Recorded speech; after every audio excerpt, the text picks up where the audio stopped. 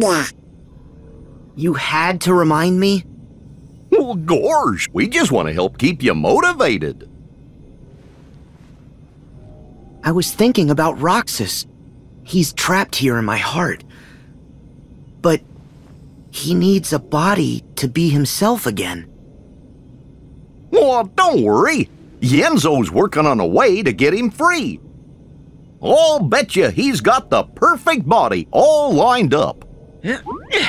You've got the Gummiphone, Sora. Why don't you try giving him a call? Uh, I guess so. Yeah, why not?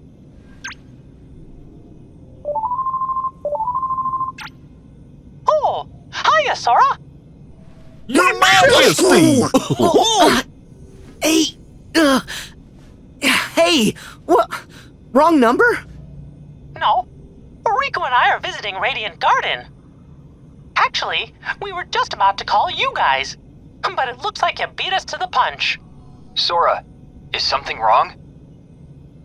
I wanted to pick your brain. In order for us to recomplete Roxas, he needs a body, right? Yeah, to put his heart in.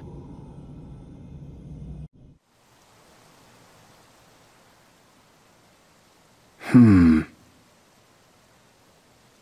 Huh? Replicas. Huh?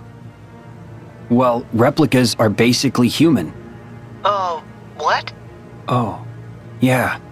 You wouldn't remember. The previous Organization 13 developed replicas, realistic vessels to place hearts in. They're so real, in fact, that you'd actually mistake them for people. And with hearts, the replicas will become people. Cool. But if we get our hands on a replica, will Roxas look like himself when he's recompleted? Yup. The replica takes the form of the heart inside it.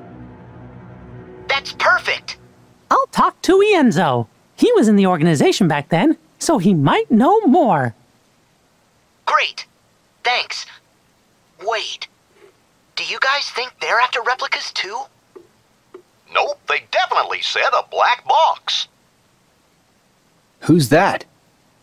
The organization and Maleficent. Oh, oh. I guess we forgot to mention it.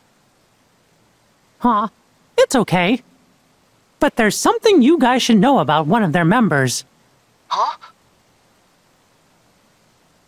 So let the rest of us worry about Roxas and Naminé for now. You journey on and keep an eye out for Terra. Yes, Your Majesty. Stop that! They don't change, do they? Nope, that's their best quality. Well, we gave Merlin the vestments for Kairi and Axel. Let's go stop by Ansem the Wise's study. Right.